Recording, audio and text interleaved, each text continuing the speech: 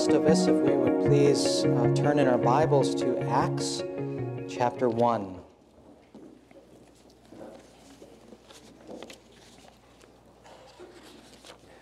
Acts chapter 1, verses 12 to 26, so 12 to the end of the chapter. So, this is God's word. I'd ask that we please be attentive uh, as it is read. Then they returned to Jerusalem from the hill, called the Mount of Olives, a Sabbath day, a Sabbath day's walk from the city. When they arrived, they went upstairs to the room where they were staying. Those present were Peter, John, James and Andrew, Philip and Thomas, Bartholomew and Matthew, James, son of Alphaeus, and Simon the Zealot, and Judas, son of James. They all joined together constantly in prayer, along with the women and Mary, the mother of Jesus, and with his brothers. In those days, Peter stood up among the believers, a group numbering about 120, and said, Brothers, the scripture had to be fulfilled which the Holy Spirit spoke long ago through the mouth of David concerning Judas, who served as a guide for those who arrested Jesus. He was one of our number and shared in this ministry. With the reward he got for his wickedness, Judas bought a field. There he fell headlong. His body burst open and all his intestines spilled out. Everyone in Jerusalem heard about this, so they called that field in their language Akeldama, that is, field of blood. For, said Peter, it is written in the book of, of Psalms, May his place be deserted, let there be no one to dwell in it and may another take his place of leadership. Therefore, it is necessary to choose one of the men who have been with us the whole time the Lord Jesus went in and out among us, beginning from John's baptism to the time when Jesus was taken up from us. For one of these must become a witness with us of his resurrection. So they proposed two men Joseph called Barsabbas, also known as Justus, and Matthias then they prayed, Lord, you know everyone's heart. Show us which of these two you have chosen to take over this apostolic ministry which Judas left to go where he belongs. Then they cast lots, and the lot fell to Matthias, so he was added to the eleven apostles. Amen. Let's pray. Heavenly Father, it is good for us to come before your word for indeed, as we already sang, we are needy souls. And the world has nothing to offer that will satisfy that need fully and finally. So let us set aside, please, the distractions of the world and the temptations of the world and help us to focus on your word and on Christ, who is the living word. And so we ask that you would indeed show us Christ and reveal your glory as your word is preached. We pray it in his name. Amen.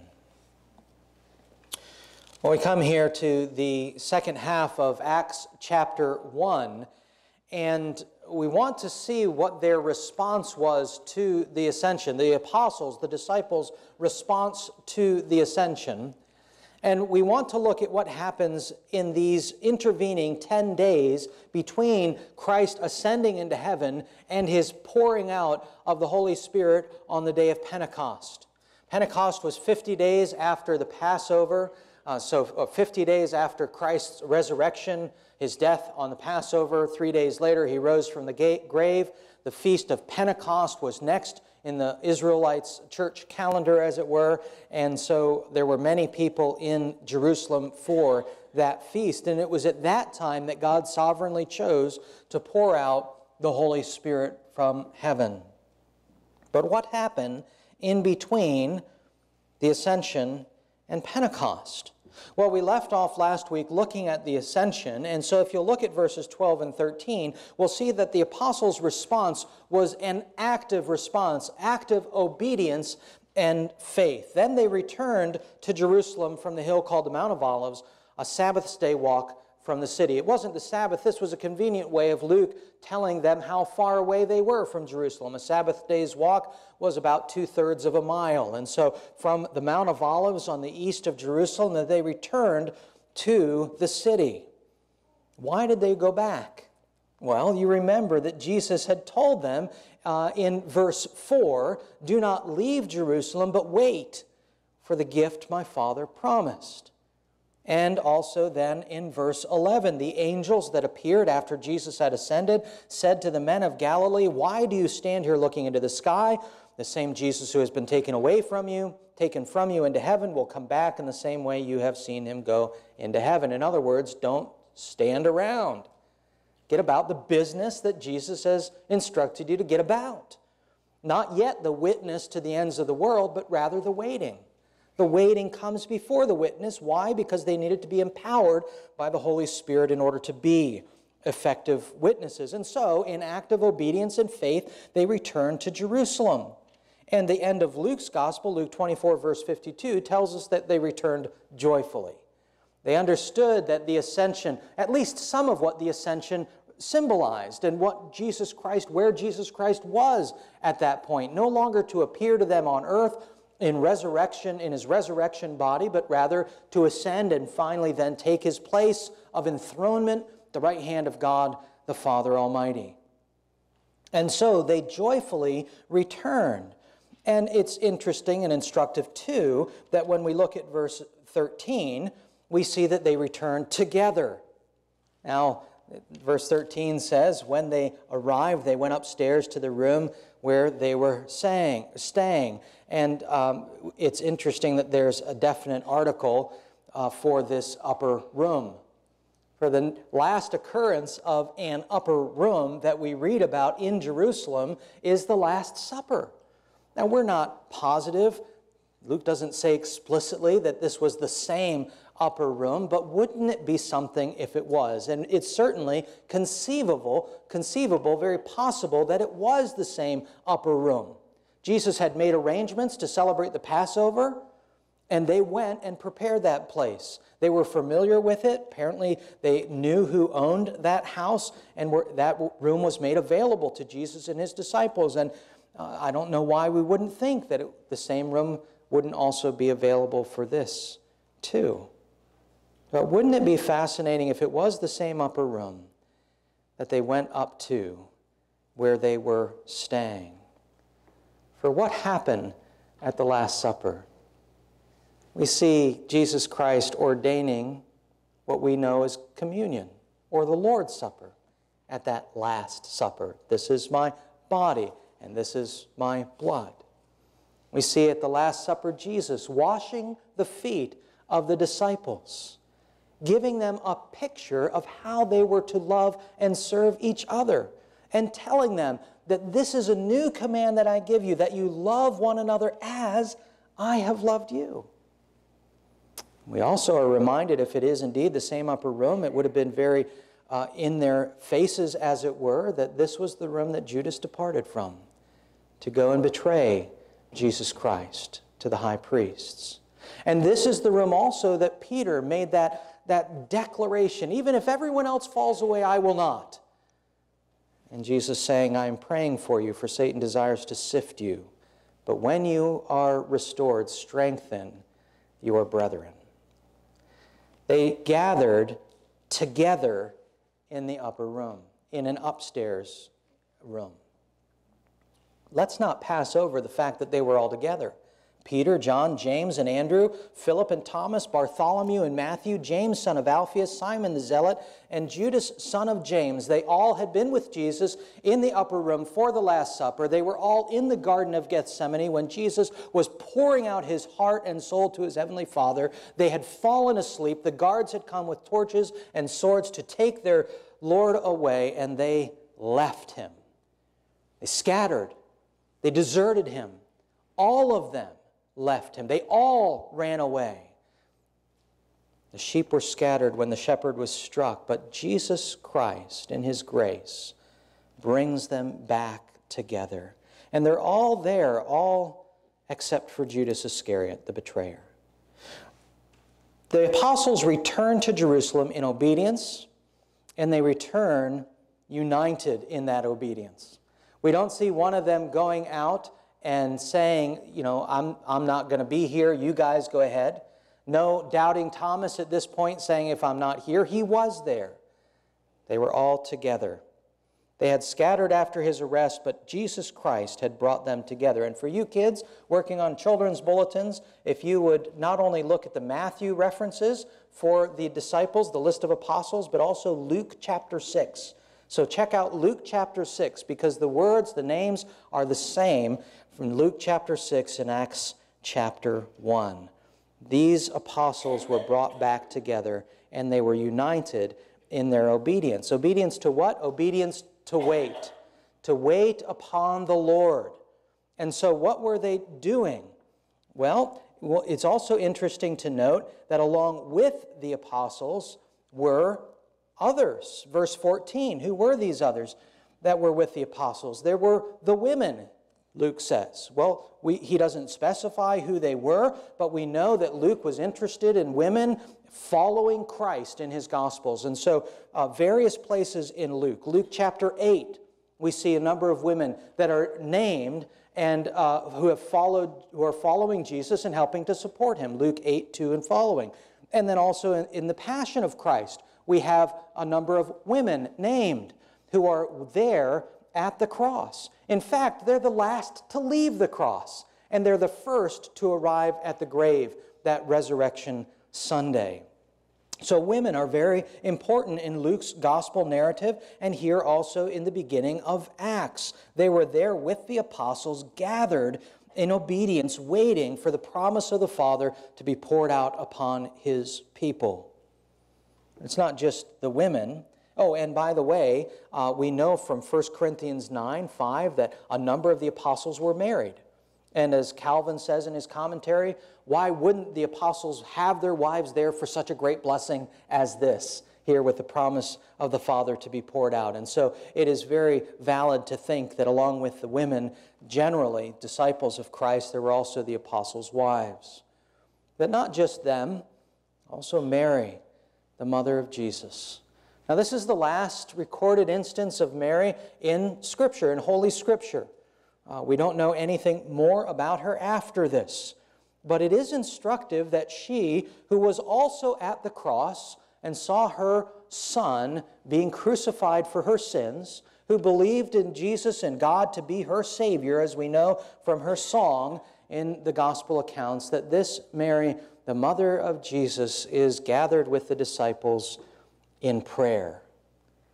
And we're reminded again of the upper room discourse where Jesus says to the disciples, If you ask anything in my name, it shall be granted to you. Jesus instructs the disciples how to pray, and we dare not disbelieve that they were disobedient to Jesus' instructions as they gathered to pray. They were praying in the name of Jesus here in this upper room, and they were praying for the things that Jesus had taught them to pray. Things like the kingdom, like uh, the forgiveness of sins, like the, lead us not into temptation. All of these things that we have just prayed ourselves in the Lord's Prayer were instructions that the apostles were following as they were gathered in the upper room to pray together. Joined together constantly in prayer. That word joined together means that they were of one mind, they were of one accord as they prayed, they weren't having, I, don't know what you think about praying for the Ravens to win. It's okay if you do. They won, by the way. Congratulations. I'm not going to be a sore loser on that one. Uh, but what if I told you I was praying for the Steelers to win? Which I wasn't, by the way. But I would have been happy if they had. Well, those are competing prayers. We can't be in the same room with the same mind if we're praying against one another. Well, the apostles, the women, Mary, the mother of Jesus, along with his brothers, and I think they were his uh, brothers by Mary and Joseph, so his half brothers, same mother, different father. All of they, these people were gathered, joined together in prayer, joined together, of one mind, of one accord. They were praying. They were no doubt following Jesus' instructions when they asked him, Lord, teach us to pray, and he gave them what we know as the Lord's Prayer. They were no doubt understanding that they were to pray now in Jesus' name. He was their ascended Savior. And no doubt they were praying constantly for the promise to be given. What was that promise? It's the promise of the Holy Spirit. And here is a word in season for us who have the promises of God. Sometimes when we read Scripture and we see that God has given us a promise, we think, well, God is sovereign. He's going to make it happen. I just need to wait. I just need to sit back, to let go, to let God, to see what's going to happen. I'm going to, I'm going to watch. No. The promise of the Father was for the Holy Spirit to be given to his people. The ascended Christ said to the apostles and those with them, Wait in Jerusalem for this promise. And what do we find them doing while they're waiting? They're praying. They're active in their waiting. They are active in their obedience to do what Jesus says, and they're active in their faith to pray for what Jesus has promised.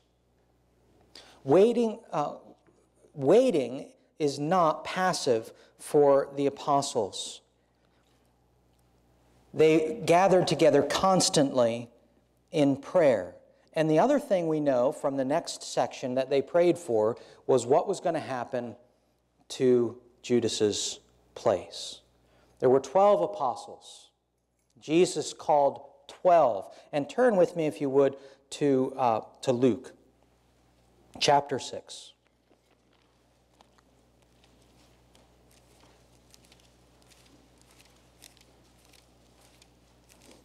Right at the very beginning of chapter 6.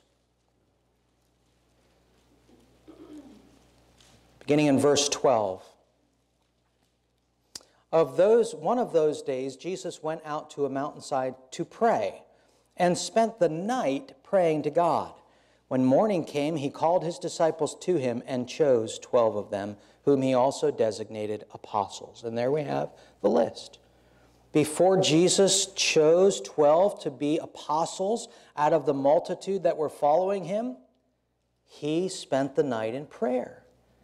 Judas has deserted the apostles. He's left his place, as Peter makes plain. Who is going to replace him? Who is going to fill the number of 12 apostles? Why 12 apostles? Because there were 12 tribes in Israel. And Jesus here is restoring, as it were, Israel.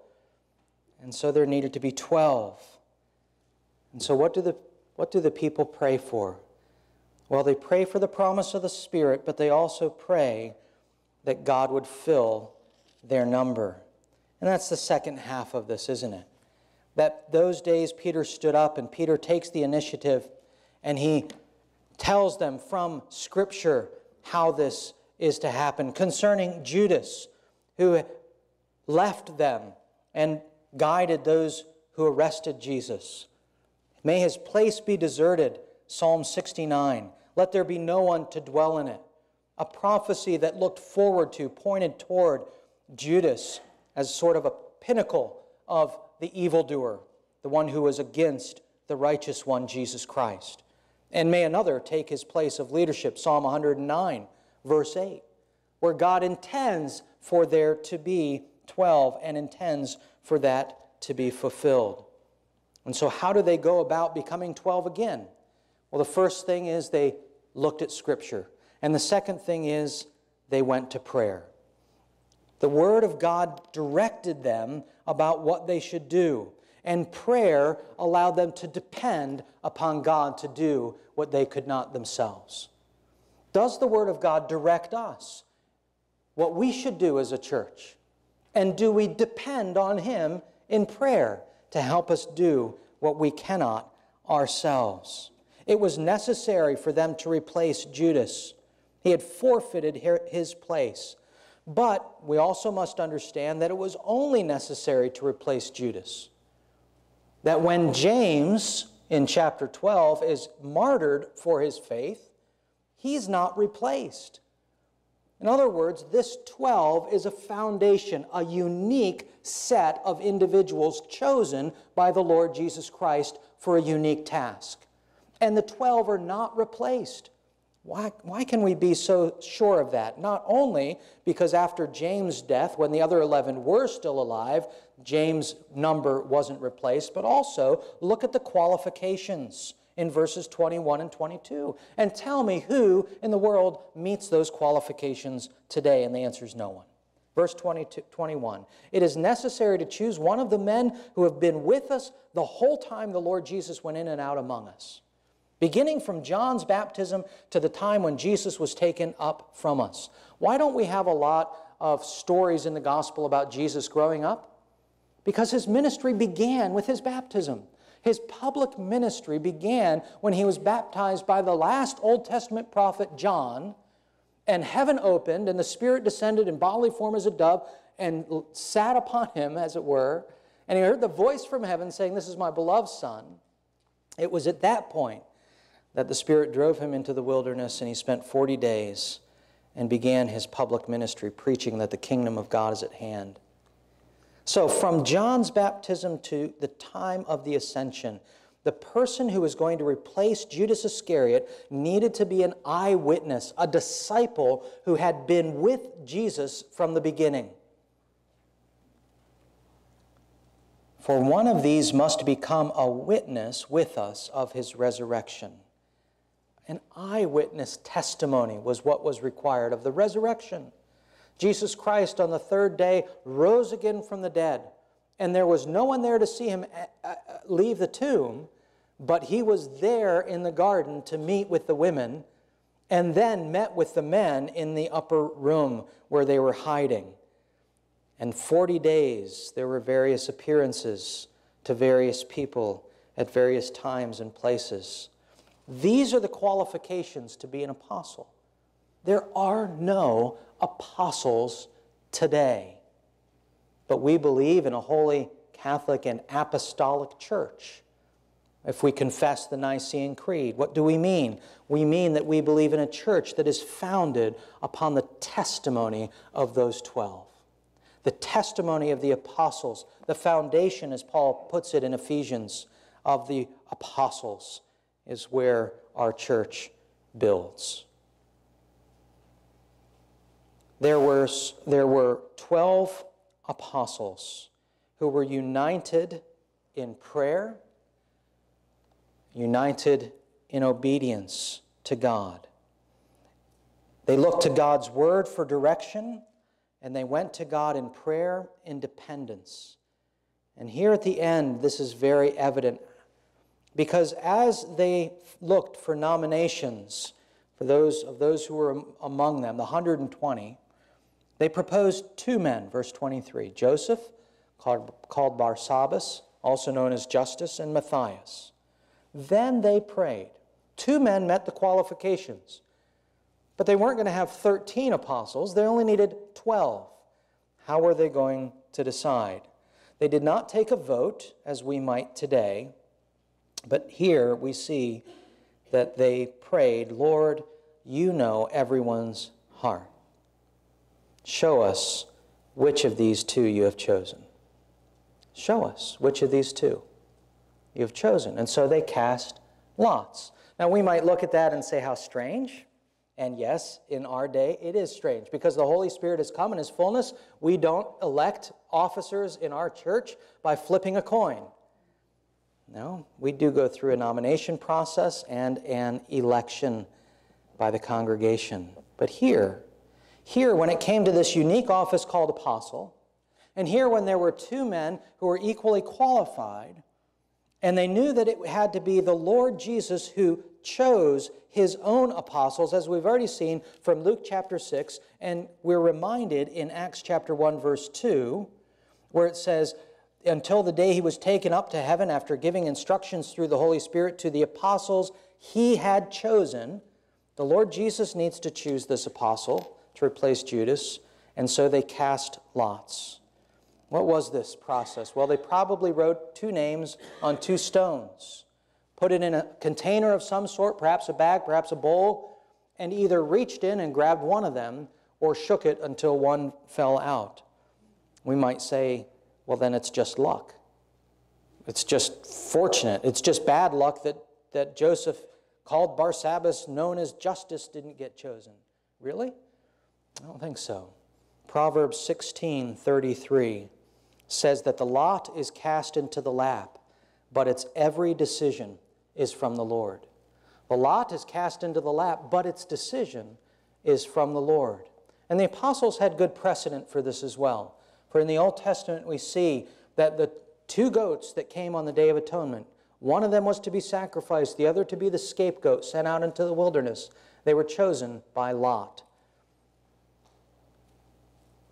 The disciples looked to the Word of God for direction, and they looked to God in prayer in dependence upon Him. And God is always pleased to give us what He promises. The question for us is do we know His promises and do we believe them? Are we active in waiting for God's promises to come true for us and for our church? Why are we here this morning? What are we waiting for as a congregation? Or maybe the question is are we waiting at all? Do we think that we've got it all together? Do we think that it's fine as it is? Do we think that we can just hang out and keep the status quo until Christ comes? Or do we take seriously Peter's admonition to grow in grace and the knowledge of the Lord Jesus Christ? And Jesus' instruction to make disciples of all the world and go to the ends of the earth witnessing with what, about the gospel of Jesus Christ. We are not waiting any we should be waiting, but we're not waiting for Pentecost. Pentecost has come. The 12 apostles and all the disciples with them saw visible evidence, signs that God's Holy Spirit had come upon them and they spoke the truth. Peter stood up and spoke the gospel. And the gospel has been continued to be preached all throughout Jerusalem and Judea and Samaria and to the ends of the earth. When we come to the end of Acts, we see Paul imprisoned at Rome and yet free to preach the gospel of Jesus Christ. And that gospel has come across the shores, even to America. And we too know and preach Jesus Christ. So, what are we waiting for? We're waiting for his return, right? Isn't that what we're waiting for as a church, as God's people? We're longing for the return of Jesus Christ. Come quickly, Lord Jesus, is our prayer. And Jesus has promised that he will one day return. But the question isn't only what are we waiting for, but how are we waiting? Are we like the disciples in verse 11, staring up at the sky, not doing the other things that Christ has commanded us to do, not being witnesses to the ends of the world, not making disciples of all nations, teaching them, baptizing them? Are we just looking up and saying, Boy, I wish this world would hurry up and end because I want Jesus Christ to come and I want to go to heaven? Are we skybound in our waiting? Or are we perhaps earthbound in our waiting? Saying, you know what? I know I'm saved. I know that I'm going to heaven. I know that I'll be okay when Christ returns. So, in the meantime, I'm going to get about the work of storing up for myself treasures on earth. I'm going to get about the work of making sure my life is comfortable and convenient, as convenient and comfortable as I can make it in this sinful world. How are we waiting?